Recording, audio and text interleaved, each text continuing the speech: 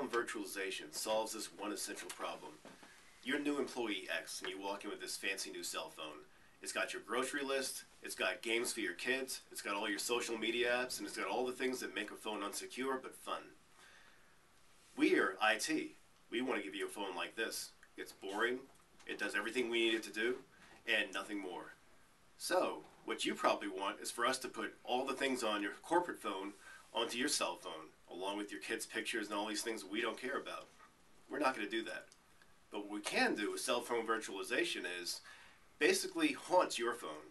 And we do that by taking an image of our corporate phone and blasting that image onto your personal phone.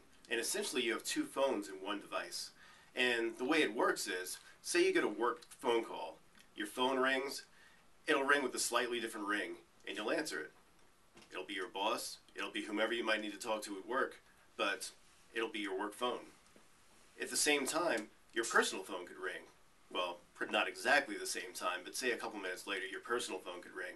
You'll pick it up, it'll be your spouse, it could be your kid, it could be whatever, but it's your personal phone.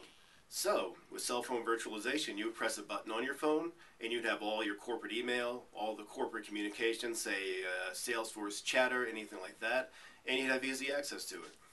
But when you get out of that app, you're back in your personal cell phone.